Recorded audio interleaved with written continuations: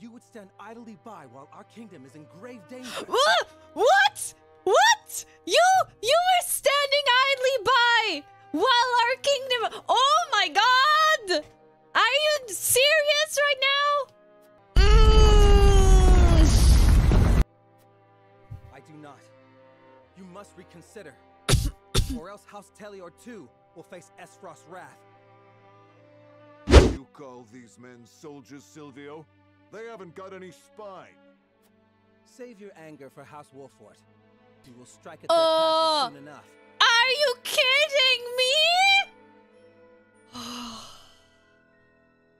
How? Why is it? I declined his proposal and he's like, "Oh, I'm going to fight you now because I'm a little baby and I cannot accept someone uh declining to me. I cannot is it? Why is it?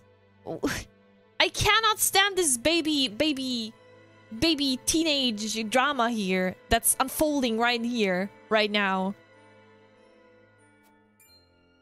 Ha! Sounds like they saw straight through your stupid. oh my god! oh my god!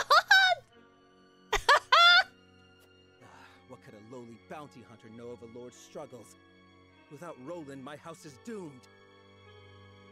ah! Ah! They call you Heroes Bane, right? that is all you need do. and do it I shall. The only one you need alive is the prince, right?